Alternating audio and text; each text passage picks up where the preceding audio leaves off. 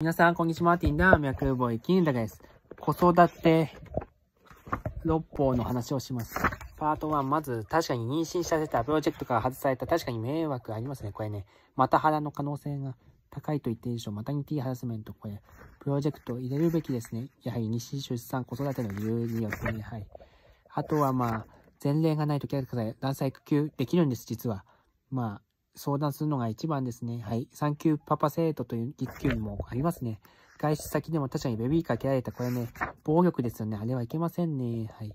あとは親が気をつけたいこと、まあ短時間で乳児を寝させて外出は大丈夫かと思いますが、地震、火事、窒息、誤飲、怪我など放置したら大変です。赤ちゃんに危険です。やっぱ一緒が一番いいです。はい。